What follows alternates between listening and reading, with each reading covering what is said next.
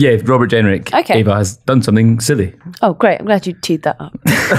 um, all right. So, this is a story out today that dozens of MPs, including more than 40 Tories, have written to the Prime Minister demanding extra funding for councils in England to avoid big cuts to services. Now, obviously, we know that councils around the country are struggling at the moment. Several councils, including Nottingham, have just um, declared themselves approaching bankruptcy. Um, uh, Croydon as well, bankrupt, a few others around the country. Now, one of these Tory MPs is none other than Robert Jenrick, who you might know from the Star Chamber. and other listeners might know from he's not actually in the Star Chamber, and other listeners might know as writing one of the amendments, the controversial amendments that several MPs uh, were going to vote for that could have sunk Rishi Sunak's Rwanda bill. When he was community secretary for quite a number of years, he was in control of the council budgets. So I don't quite understand why he didn't do something about it then.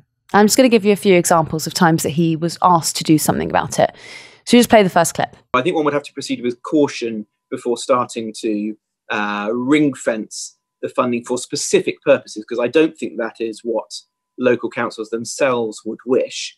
Uh, but we will consider whether we can give further guidance to councils as to uh, the areas of COVID related expenditure which we would expect central government uh, to fund. I think most councils would know that. Uh, in broad terms, they are the cost of social care, most obviously, uh, and that will be the largest cost.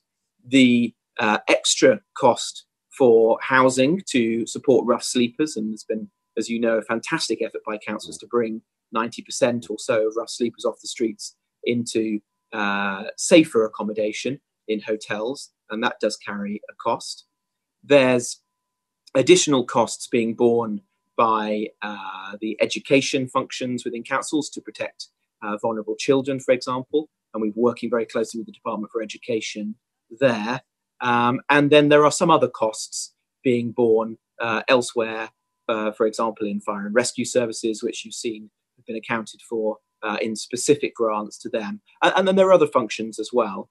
Uh, but there are things which councils are doing, uh, uh, which is entirely of their own volition. As I say, I support I support councils making those decisions. But as you can imagine, it, it is only fair that central government supports things which are open to all, uh, rather than individual choices by local councils. And if any um, council yeah. uh, leader or officer is watching these proceedings and is uncertain, then, as I always say, I would strongly encourage them to contact uh, MHCLG. All councils have regular contacts with the department and discuss any of those issues. We wouldn't want anyone to labour under a false impression that uh, what they were doing is uh, guaranteed to be funded by uh, central government. So that's there in May 2020.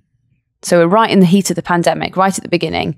He was indeed community secretary. He was in charge of the budgets. He told a select committee that councils will not be reimbursed for COVID costs. Now, at the time, councils were facing a funding shortfall of 3.5 billion pounds. They were forced to make up to 20% cuts in funding. That means that provisions for adult social care, provisions for education, parks, bin collection, a lot of it had to halt because he would not plug the gap made by COVID. Should play the next clip? Yeah. Mm.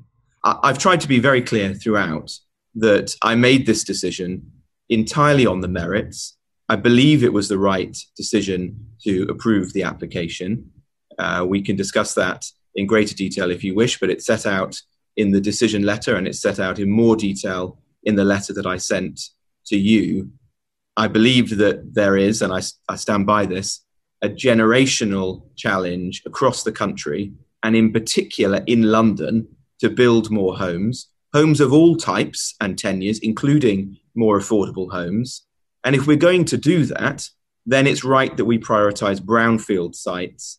And if we're going to build upwards, it's right to prioritize those parts of the capital and the country where there are existing clusters of high rise buildings. And so, on the merits of this particular application, it seemed to me, after a thorough decision making process, that it was right to approve it. So that's uh, Robert Jenrick there talking in a select committee in June of 2020. So that's a month later.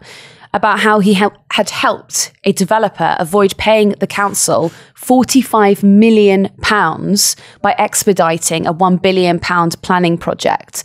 So that 45 million pounds was a new levy that was introduced by the council so that if you were a big developer and you were I guess quote unquote gentrifying an area, you would give money to the council to make sure that there were provisions for local people or there would be money that would go be fed back into the community. Robert Jenrick, as a minister, actively starved the council of 45 million pounds. Hmm.